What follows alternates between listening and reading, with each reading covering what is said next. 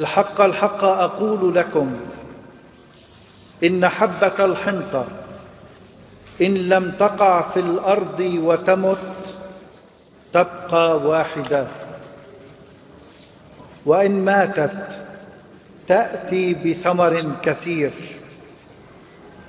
من يحب نفسه يفقدها ومن يبغضها في هذا العالم يحفظها لحياة أبدية. من يخدمني فليتبعني وحيث أكون أنا فهناك يكون أيضا خادمي. من يخدمني يكرمه الآب. نفسي الآن مضطربة فماذا أقول؟ يا ابت نجني من هذه الساعة.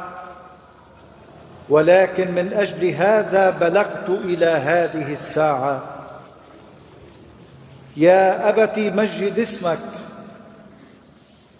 فجاء صوت من السماء يقول قد مجدت وسأمجد. وسمع الجمع الحاضر فقالوا إنه رعد. وقال آخرون إن ملاكا خاطبه.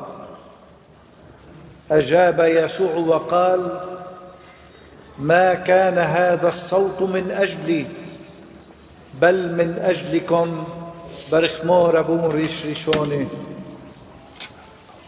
الله